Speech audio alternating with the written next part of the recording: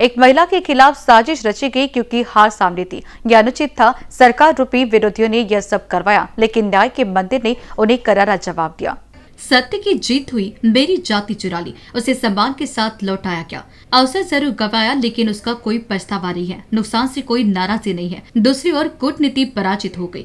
इन शब्दों के साथ कांग्रेस नेत्री व पूर्व जिला परिषद अध्यक्ष रश्मि बर्वे ने बीजेपी की जमकर आलोचना की। हाईकोर्ट ने बर्वे को जाति वैधता प्रमाण पत्र देने और जाति वैधता समिति पर जुर्माना लगाने का निर्णय सुनाया, जिसने साजिश रचकर दबाव में यह कृत्य किया था। उसे कोर्ट से करारा जवाब मिल गया। कोर्ट ने बर्वे के खिलाफ की गई त्वरित कार्रवाई की आलोचना की। बर्वे ने कहा कि जाति प्रमाण पत्र रद्द करने पर हाईकोर्ट ने ऐतिहासिक फैसला सुनाया। वह यह कहते हुए थोड़ा भावुक हो गई कि इस दौरान मुझे बहुत कुछ अलग अनुभव का सामना करना पड़ा। नेताओं को खुद पर भरोसा था और बीजेपी वाले ओबीसी और एस से इतने नाराज़ क्यों है? यह समझ से परे है। उन्होंने फडणवीस से नाराज़गी भी ज़ाहिर की। भगवान के घर में सब ठीक था। कमिटीच्या कार्यालयामध्ये एक महिला आणि महिलेला उमेदवारी मिळावी म्हणून आमच्या ताईंनी नाव घेतलं.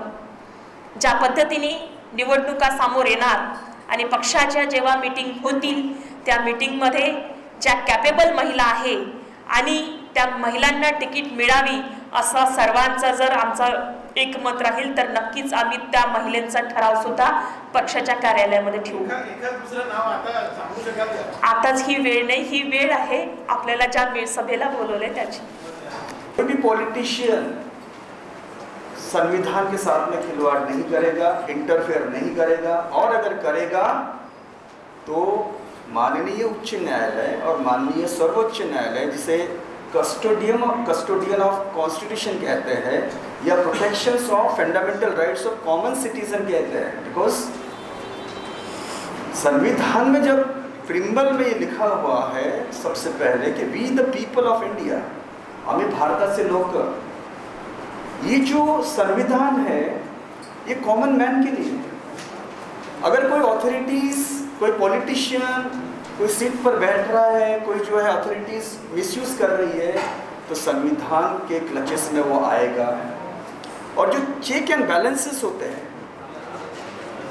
यानी ये बैलेंस कैसे, अगर समझो कि माननीय उच्च न्यायालय ने इनके फेवर में जजमेंट नहीं दिया होता तो आज इनका जो अस्तित्व है, या इनके जात का अस्तित्व है, या इनके जनरेशन का जो अस्तित्व है, वो लोगों के सामने क्या इमेज हुई होती, क्या दुबिल डिमिंग जो है इमेज हुई होती, इनका अस्तित्व खत्म हो गया होता, इनका पॉलिटिकल करियर इसी के तहत न्याय मिला है। नतीजों से अब साफ़ हो गया है कि ये सब सोची समझी कूटनीति और साजिश का हिस्सा था, लेकिन हमें ज़्यादा नुकसान हुआ। हम जिस समाज से हैं, उसकी पहचान को इस तरह मिटाना बेहद दुर्भाग्यपूर्ण है। बर्वी ने उम्मीद जताई है कि ऐसा दोबारा किसी के साथ नहीं होना चाहिए। उनके वकील एडवोकेट शैलेश नानवरे ने इस फैसले के बारे में विस्तार से जानकारी दी। कैमरा पर्सन राजकुमार मोहट के साथ क्षितिजा देशमुख की रिपोर्ट।